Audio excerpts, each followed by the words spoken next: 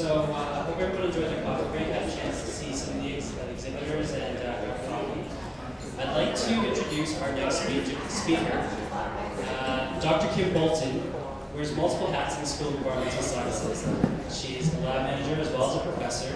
Uh, she teaches a number of um, chemistry and environmental chemistry courses. And uh, when I was going through my degree, she was one of my favorite uh, professors and really taught me, uh, well, gave me all the tools to understand chemistry and I think it's her enthusiasm that really connects her to the students. So uh, if, you have, if, you have, questions, save them to the end for Kim, and uh, please join me in welcoming Kim Bolton.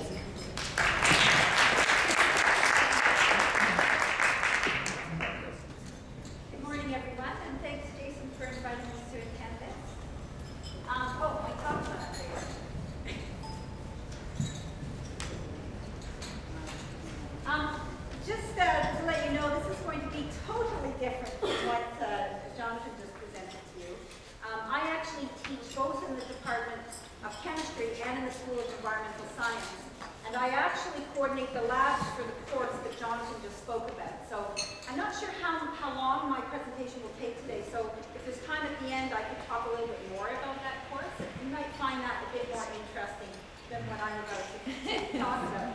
Um, Jonathan's uh, course, um, Introduction to Environmental Science, is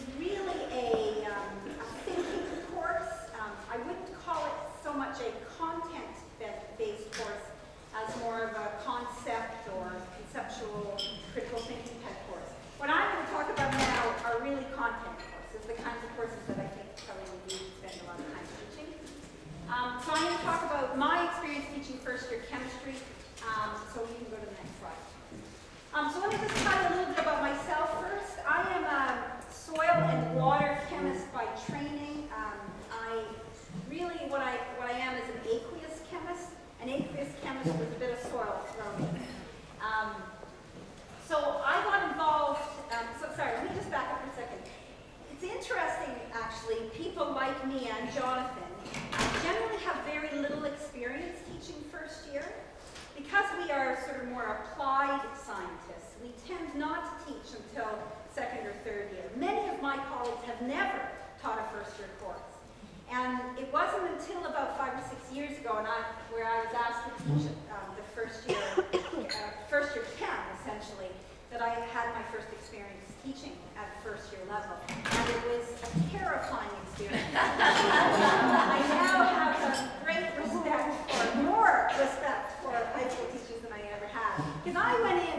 that course like I teach all of my courses, and it was a complete and utter failure.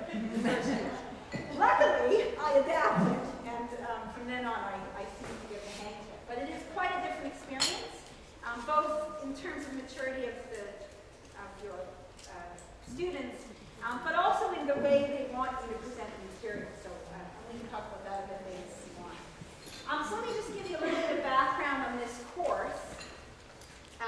don't know, I don't know the date here, but a number of years ago, um, someone uh, in the curriculum, in our curriculum committee decided that it would be a good idea to um, have the environmental science students, so students who were in the degree BSc, ENV, um, have their own chemistry course.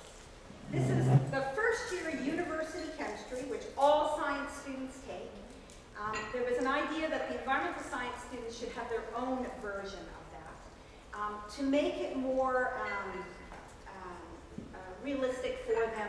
Uh, many of the environmental science students have no idea why it is that we make them take chemistry. I hear that over and over again.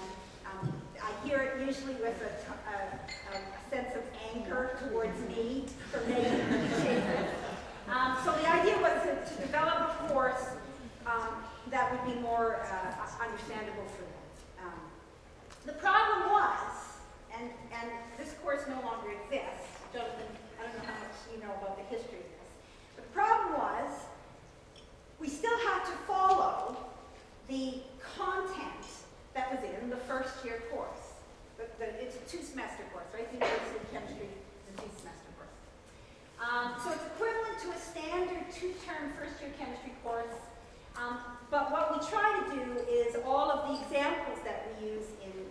explaining the basic uh, uh, components for geometry, um, um, kinetics, we try and use environmental examples. Um, so we use examples from acid, uh, from acid rain, ozone depletion, photochemical smog. Similar structure lectures and labs,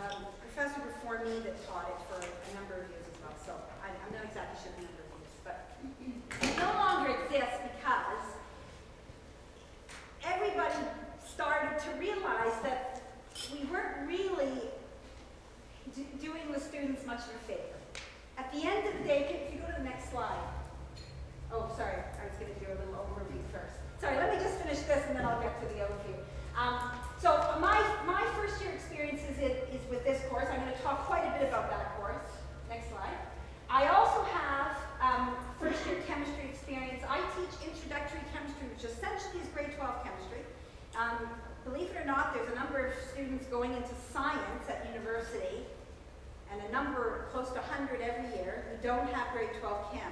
I'm not exactly sure why that is, maybe you can explain that to me, but they take, um, they have to take grade 12 chem before they take the two. I teach that as a distance education format. I can talk a little bit about that as well. There are no labs in that course. I also teach a liberal arts type chemistry, so chemistry for non-science students.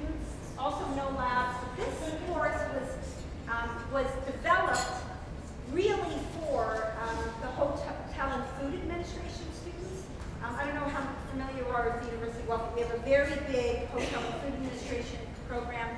One of the courses they take in their second year is essentially a food chemistry course. And so the idea was they needed a little bit of chemistry to help them understand food chemistry. So I'll also teach that, and I'll talk a little bit about that later on. Okay, so back to the introduction to environmental chemistry.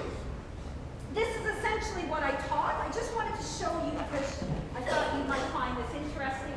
So I taught stoichiometry, essentially enthalpy, energetics, um, gases in the atmosphere, kinetics, um, gaseous uh, equilibria, acids and bases, solubility, free energy, and electrochemistry. So those are all topics that you would find in a standard first year university chemistry course. But you'll also notice that there are other topics that we have that we put in to make it more of an environmental chemistry course. So we put in water, we put in a unit on acid rain, we put in a unit on stratospheric ozone depletion. We talk about we talked about uh, global warming and climate change under the gases, and we put in a unit on metals and mining. The problem, of course, is that we have to take stuff out. In order to put that in, we have to take stuff out. Things, if you if you if you teach chemistry, you'll notice right away there's nothing on chemical bonding there. So the whole unit on chemical bonding, Lewis structures, VSEPR diagrams gone. Um, and we also took out the entire unit on organic chem. So there's no organic chemistry in this course. So what that meant was that these environmental science students, if they were going um, to continue in this sort of environmental chemistry, they needed to take another course to give them that background. So that was one of the reasons that this didn't quite work the way I think they wanted it to work. Um, and the other, we, and we can discuss this afterwards if you want. The other reason I don't think it quite worked is because it really was chemistry with a few environmental science examples instead. There wasn't a real, there wasn't a, an idea of completely changing the way the course was taught. There was no pedagogical uh, change in this course. So eventually they stopped running it. Now the environmental science students are back with the masses, the 1500 or 2000